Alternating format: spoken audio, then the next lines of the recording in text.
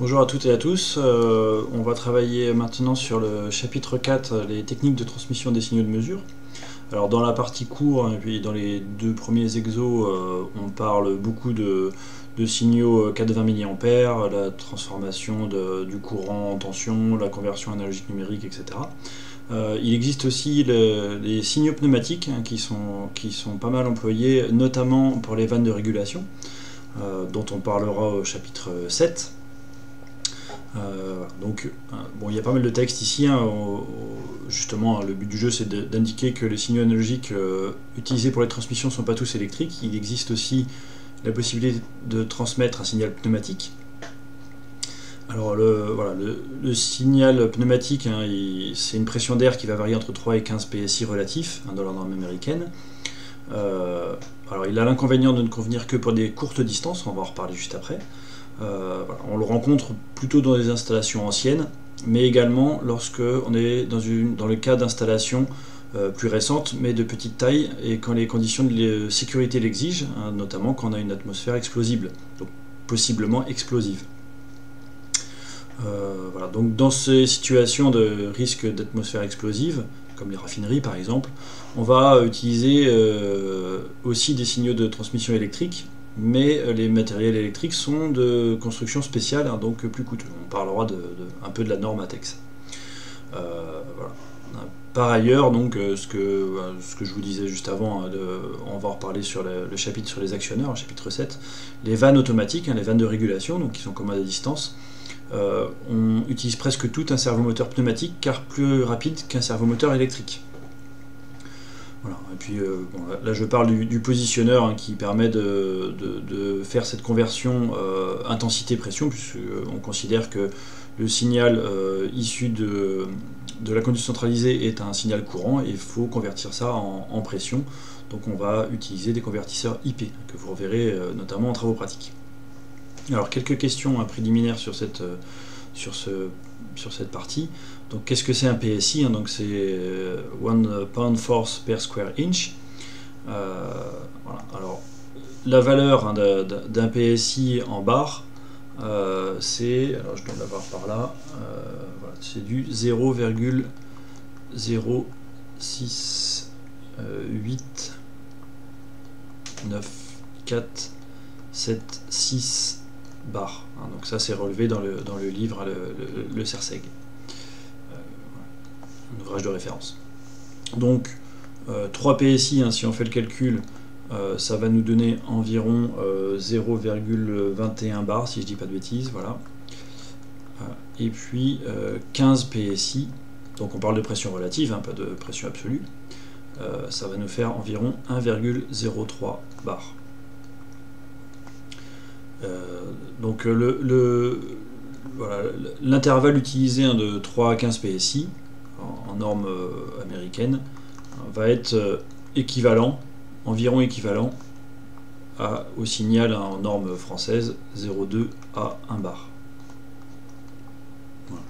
vous avez sûrement vu sur des, sur des manomètres, souvent, enfin très souvent même, euh, les manomètres ont la double graduation euh, bar ou, PSI. Donc voilà, les matériels 0,2 1 bar hein, sont assez interchangeables avec euh, les matériels 3,15 PSI et inversement. Alors question B, pourquoi le signal pneumatique ne convient-il que pour des distances inférieures à 150 mètres? Le principal souci, c'est la durée de propagation du signal.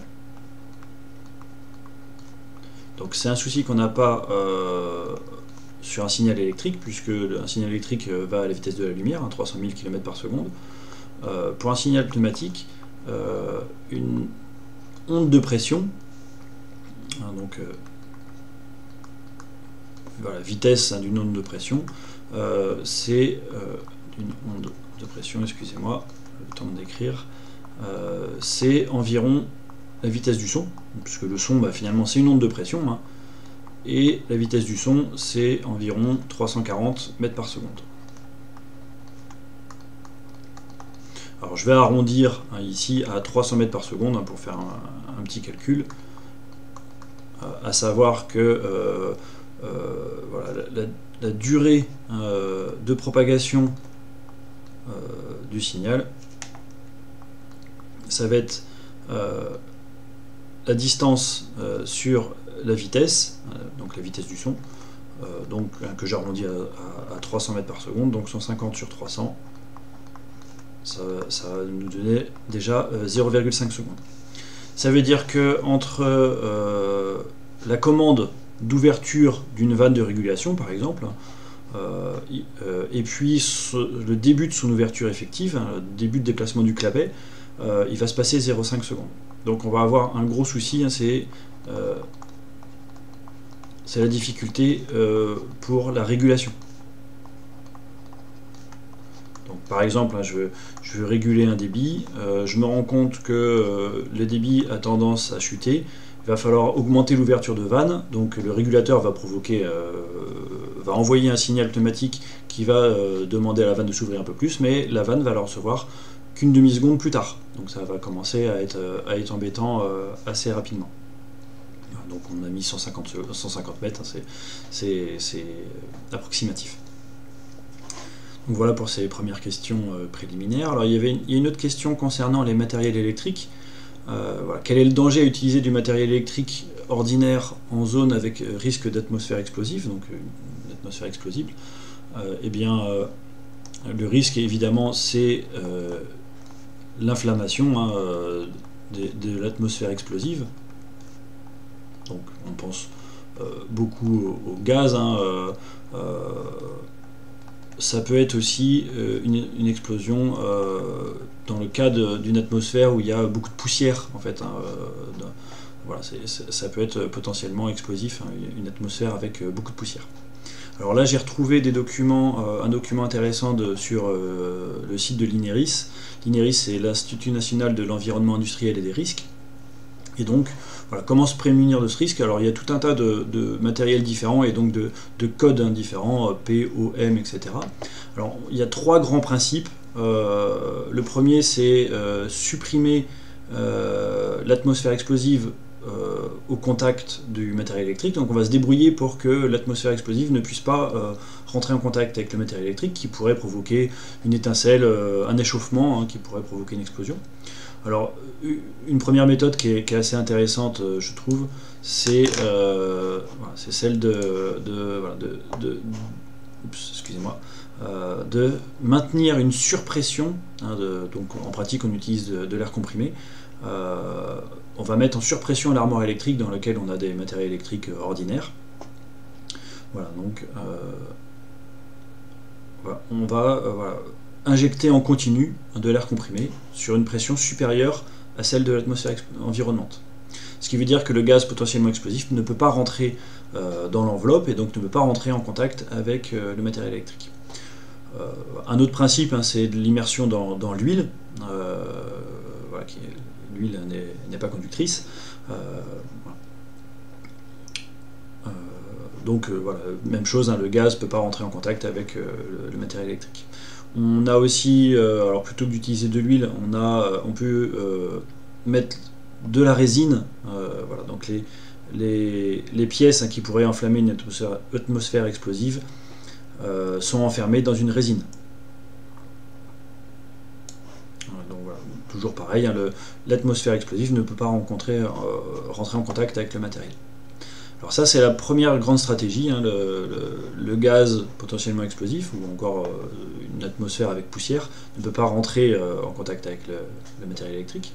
On a deux autres grands principes hein, qui existent, c'est suppression de la source d'inflammation. Donc on va utiliser des matériels, alors la distinction est assez, légère, euh, voilà. on va utiliser des matériels euh, qui euh, ne peuvent pas provoquer d'arc ou d'étincelles à l'intérieur et sur les parties externes du matériel électrique. Ou sécurité intrinsèque, hein, c'est un, peu le, un peu le même principe, aucune étincelle ni aucun effet thermique ne peut se produire. Alors on utilise euh, globalement on utilise un matériel euh, qui, est de, des circuits électriques pardon, de basse énergie, de plus basse énergie. Euh, le troisième grand principe, hein, c'est non-propagation de l'inflammation. donc dans ce cas-là, les, pièces hein, sont enfermées dans une enveloppe qui résiste à la pression développée lors d'une explosion. Et puis ça peut être aussi un remplissage, pulvérulent, donc une poudre hein, qui sera autour du, matériel et qui va faire à peu près le, même principe. En cas d'explosion de, de ce matériel, l'explosion ne va pas se propager. Donc c'est des matériels qui sont très résistants, bien sûr, et qui doivent être vérifiés régulièrement, notamment au niveau des joints. Alors je reviens un tout petit peu sur la, sur la page précédente. Euh, j'ai pas commenté. Hein. donc ce, symbole hein, qu'on trouve ici, X, hein, c'est euh, euh, pour du matériel électrique ATEX ou antidéflagrant, qui va, qui va pouvoir être mis dans une atmosphère ATEX. ATEX, ça veut dire atmosphère explosive. Et puis ce symbole en forme de triangle, c'est pour signaler les zones où justement euh, on est dans une, euh, dans une zone ATEX, hein, donc avec euh, risque d'explosion, risque de présence de, mélange de gaz et d'air explosif. Alors je, reviens sur cette page-là. Sur les matériels électriques qui sont en, zone ATEX, on va trouver un marquage très précis. voilà, c'est communauté européenne. Hein, on, voit le, on voit le symbole X ici. Euh, bon, il y, a tout un tas de codes, hein, de groupes, etc., de types d'atmosphère, G pour gaz ou D pour euh, euh, atmosphère avec poussière. D, ça doit être dust en anglais, hein, je suppose. Donc c'est très très précis, hein, c'est très contrôlé, très surveillé, bien entendu, très, très important. Bon, je, vais passer à la suite. Alors maintenant, dans le cadre de la modernisation d'une installation, où on avait des signaux de transmission purement pneumatiques, euh, on change le matériel de commande par du matériel électrique, bah, ce serait une très très vieille installation, hein, euh, bien sûr. Euh, et donc on va garder par contre les vannes, une partie des vannes à commande pneumatique directement. donc on va utiliser des convertisseurs intensité-pression et pression-intensité, donc que vous retrouverez d'ailleurs en, travaux pratiques. et que vous, vous verrez s'ils sont bien réglés, et vous procéderez au réglage d'ailleurs aussi d'un convertisseur. Donc on demande en premier de compléter le schéma euh, suivant qui représente le cas d'une vanne à commande pneumatique. Alors euh, on va partir euh, ici, je vais supprimer ce cadre, de l'organe de commande électrique. Ça peut être un régulateur, ça peut être une, commande une conduite centralisée, ça peut être un automate, etc. On veut aller piloter une vanne de régulation pneumatique, donc à commande pneumatique. Donc pour ce faire, il bah, va falloir convertir le signal électrique hein, qui sort du régulateur en un signal pneumatique, 0,2 bar ou 3,15 PSI pour euh, commander la vanne. Alors le signal électrique, un 420 mA, il va transiter euh, dans une liaison électrique par fil conducteur, tandis que le signal pneumatique, alors vous voyez le, symbole, hein, c'est les, deux slash en gros sur, sur les traits, alors qu'un signal électrique c'est un pointillé. Euh, et donc le signal pneumatique va euh, passer dans une canalisation d'air comprimé, un, tuyau d'air comprimé. Et donc entre les deux, bien sûr, pour convertir le courant 420 mA en pression 0,21 bar ou 315 PSI, on va utiliser un convertisseur IP. Alors ça c'est un symbole générique d'un convertisseur. Hein, ici on va mettre le signal d'entrée I, euh, ici le signal pression P. pour préciser, hein, ce symbole-là, représente euh, l'alimentation en air comprimé.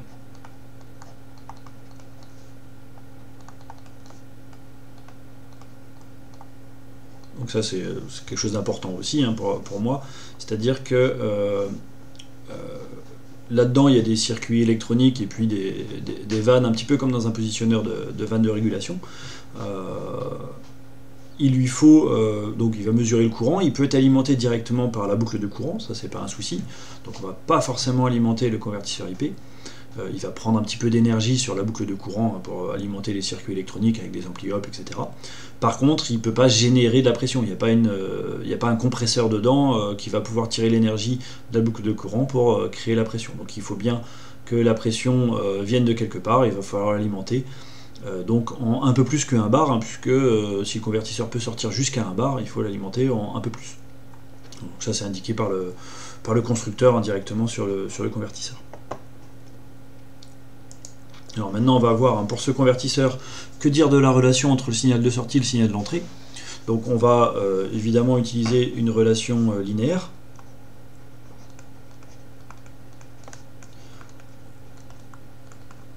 entre donc le courant d'entrée, entre le courant I, hein, c'est l'entrée du, convertisseur, et euh, le signal pneumatique en sortie.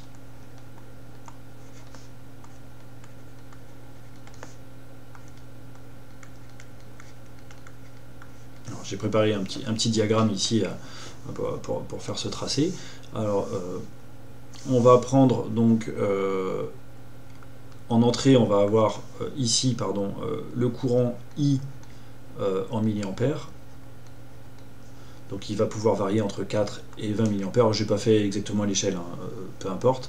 Et puis euh, ici sur l'ordonnée, donc euh, le signal de sortie, hein, c'est la pression P, qui ici en barre, on aurait pu faire le même exercice en, PSI. Et donc le signal de pression va varier entre 0,2 et 1 bar. Donc le principe, hein, c'est qu'on va, on, va se débrouiller pour que quand le courant vaut 4 mA, on sorte 0,2 bar. Et puis quand le courant vaut 20 euh, mA, je vais essayer de placer mon point correctement, euh, on sorte 1 bar. Et puis euh, on va se débrouiller pour que la relation entre les deux soit linéaire.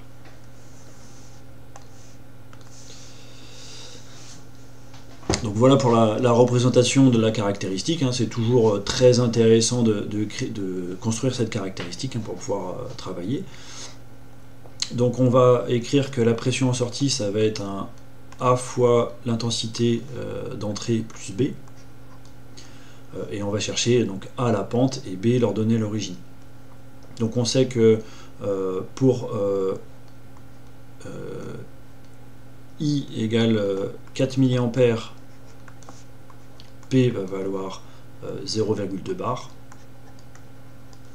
Et pour I égale 20 euh, mA,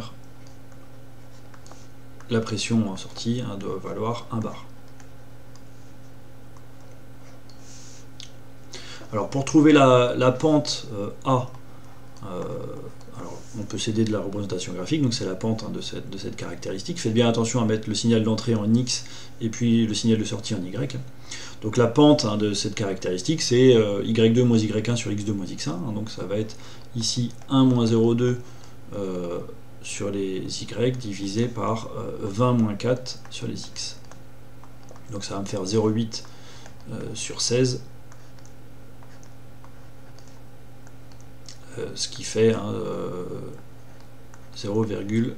0,05. Si je dis pas de bêtises. Et donc, ce sont euh, l'unité, hein, ce sont des bars par milliampère. Alors on s'amuse pas à convertir en, en, unités ici, hein, les pascals et les, ampères, hein. on reste dans les unités telles qu'on les a euh, directement sur, le matériel ou dans l'énoncé. Bon, ça c'est la pente, ok. donner l'origine, euh, pour la trouver, ben, on va prendre un des deux points. Donc je vais prendre peut-être euh, le, premier point, le, point A. Et eh bien, euh, on sait que donc hein, j'identifie donc P vaut 0,2, A c'est 0,05 fois 4 plus B et donc si j'essaye de, trouver B, B en fait, euh, bah, je, vais, me rendre compte que 4 fois 0,05 ça fait 0,2 et je vais trouver que B égale 0. Donc si je prolonge hein, la caractéristique, elle doit passer normalement par 0.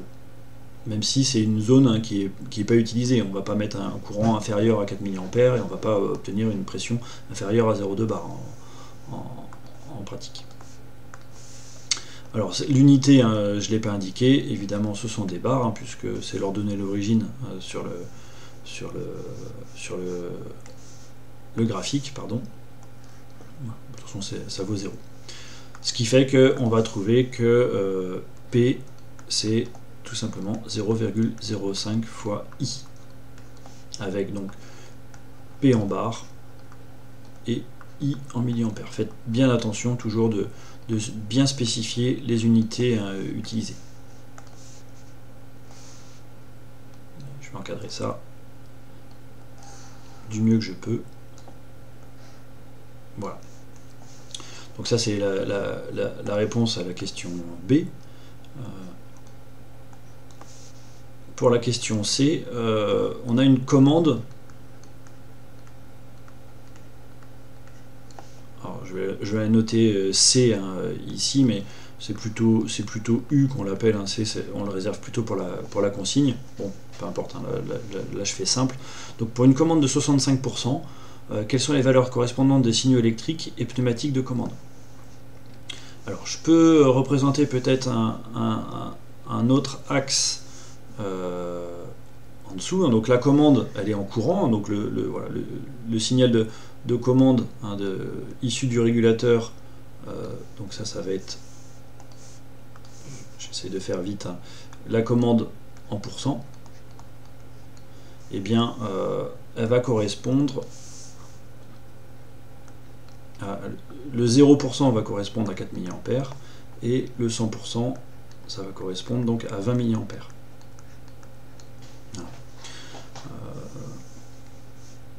Donc ici, si j'ai une commande de 65% euh, euh, qui va être par là, je ne sais pas si ça va être très visible en, jaune ici, quelle est la valeur de courant correspondante? Et puis ensuite, pour cette valeur de courant, quelle est je ne suis pas parfaitement en face, la valeur du signal pression hein, qui va se retrouver ici. Donc, hein, ça, on ne connaît pas pour l'instant, et ça, on ne connaît pas non plus. Donc c'est ça que, l'on cherche. Alors on va se dire, hein, donc voilà, 0%, ça va euh, correspondre à 4 mA, 100% c'est 20 mA, en fait, hein, donc 100% correspond, euh, une variation de 100% correspond à, 16 mA. Donc pour une commande de 65%, euh, le courant I, hein, ça va être 65% euh, de 20-4, de 16, auquel je vais ajouter 4. Alors on aurait pu sinon tracer hein, le, courant en fonction de, la commande, retracer un diagramme je peux peut-être le, dessiner vite fait. Bon, je pense que c'est pas nécessaire, hein, mais, mais s'il faut, il hein, faut, faut, pas hésiter. Donc la commande en pourcent et le courant en milliampères, ça va pas être très joli, mais donc si je mets 0, 100 ici, je dois sortir 4, 20, et puis on se débrouille bien entendu pour que la caractéristique, je vais mettre une petite couleur quand même, euh, soit, soit donc évidemment linéaire on pourrait, on pourrait euh, calculer i en fonction de c, hein, donc l'équation de, cette droite-là, et puis trouver pour 65 euh, hein, combien ça fait en courant.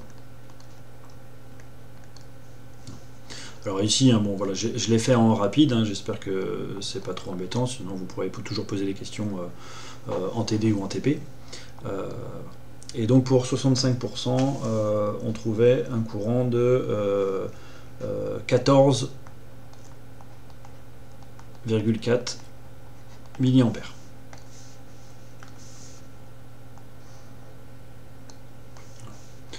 Euh, ensuite, euh, si je veux euh, connaître la pression, eh ben c'est tout simple, hein, je vais faire une application numérique. P c'est 0,05 fois le courant qui est en milliampères, hein, pas besoin de convertir, hein, toujours. Euh, on l'a bien indiqué hein, euh, dans, la, réponse. Et ça va nous faire 0,72 euh, bar. Voilà, donc à nouveau, beaucoup de manipulation d'équations de droite. J'espère que, vous trouvez ça pas trop difficile. Donc voilà pour cette, cette première partie. On a ensuite euh, une autre partie hein, où on veut euh, au contraire hein, conserver également un capteur transmetteur de niveau à sortie pneumatique, donc il va nous sortir du 0,2 à 1 bar en fonction du niveau euh, qu'il mesure qui varie entre 0 et 3 mètres. Donc l'idée c'était de construire le même type de schéma que précédemment, bon je pense que c'est pas très difficile, hein. donc ce qu'on a ici c'est justement le capteur transmetteur de niveau. On veut donc envoyer un courant 420 mA à l'interface d'acquisition, au régulateur. donc ça peut être un, convertisseur analogique numérique avec un ordi par exemple, plus un logiciel, enfin bref, hein, ça peut être un, automate, un régulateur, etc. Donc ce qui sort du capteur transmetteur de niveau, c'est un signal pneumatique 0,2,1 bar. Hein, bon, hein, c'est une liaison dans un tuyau d'air comprimé. ici, on va retrouver le signal électrique dans, les fils électriques, tout simplement. ici, c'est donc un convertisseur PI, hein, il va transformer la pression en intensité, donc je vais trouver ici P et je vais trouver ici I. Et puis euh, ce que je trouve intéressant aussi, ce que vous reverrez d'ailleurs en, TP, c'est que ce convertisseur-là, euh, il n'a pas besoin d'être alimenté en pression puisque bah, reçoit le signal pression indirectement. Par contre, il a besoin de générer un courant. Or, il ne va pas y avoir une dynamo à l'intérieur du convertisseur hein, qui va euh, faire tourner pour, fabriquer du courant, fabriquer de, l'énergie. Donc, il va falloir qu'on l'alimente euh, en tension. Hein, euh, alors ça peut être du 12 volts, 24 volts, 230 volts. Hein, celui que vous verrez en TP est alimenté en 230 volts. Donc il faut bien penser à cette alimentation, euh, bien entendu. Donc voilà pour le, pour le, pour le schéma qui est similaire au précédent. Et puis maintenant, on veut déterminer la, hauteur en fonction du, signal pression. Hein, donc pour 0,84 bar, hein, euh, quelle est la valeur du niveau. Alors, euh, même chose, hein, je préfère toujours euh, créer un petit, diagramme. Donc ici, en entrée, c'est le niveau N, donc que je vais noter N en mètres. Je suis un peu au bord de l'écran. ici, en sortie, c'est donc une pression P en bar. Donc le niveau d'entrée peut varier entre 0 et 3 mètres. Euh, et le signal de sortie, c'est un 0 ça, hein. le signal de sortie va varier entre 0,2 et 1 bar. Et puis bon, on trace la caractéristique hein, tout simplement. Quand on a 0 mètres, le capteur va nous sortir 0,2 bar. Quand on a 3 euh, mètres, il va nous sortir 1 bar. Je vais essayer de me placer à peu près correctement, comme ça. Je, ne suis pas sûr que je sois parfaitement droit. Hein. Non, on dirait que non je pense que vous voyez le, principe, hein. bien entendu. Euh, c'est les, deux points extrêmes et on a une relation euh, linéaire entre les deux. Alors donc euh, le but du jeu, bah, ça va être d'écrire que la pression en sortie, ça va être un A fois le niveau plus B. Alors c'est pas les mêmes valeurs de A et B que tout à l'heure évidemment. Hein. donc la pente, hein, bah, c'est le même type de calcul, ça va être euh, y2 moins y1 euh, sur x2 moins x1. Donc ça va faire ici 1 moins 0,2 sur 3 moins 0. Euh, ça fait 0,8 sur 3. je, dois avoir, je dois avoir la valeur approchée par ici. J'avais 0,267. Hein. donc ce sont des barres par mètre. Bon, à la limite, euh, peu importe l'unité, hein, ce qui importe, c'est euh, d'écrire correctement euh, l'équation à la fin. Et puis leur l'origine, alors c'est l'avantage de faire ce type de tracé, puis là on a bien 0 hein, au niveau des, x, hein, du niveau en mètres. Donc leur l'origine, bah, je vais la lire directement sur le diagramme, ça fait 0,2 bar. Ou alors on remplace dans, l'expression, sur un des deux points qu'on connaît bien, euh, on remplace la pression et le niveau, on connaît A, on va, peut, trouver B comme on a fait tout à l'heure. Ok, donc euh, P c'est, euh, alors je vais garder la valeur hein, plutôt exacte, 0,8 sur 3 fois N plus 0,2, avec donc P en bar et N en mètres. Voilà, pensez toujours, toujours, toujours à bien mentionner les unités euh, utilisées euh, dans, dans l'équation. Ok, alors maintenant si euh, j'obtiens 0,84 bar en sortie du capteur, quelle est la valeur du niveau? Alors il va falloir retourner cette équation pour, pour, trouver n. Hein. donc, alors ce que je peux déjà faire c'est p 0,2 c'est 0,8 sur 3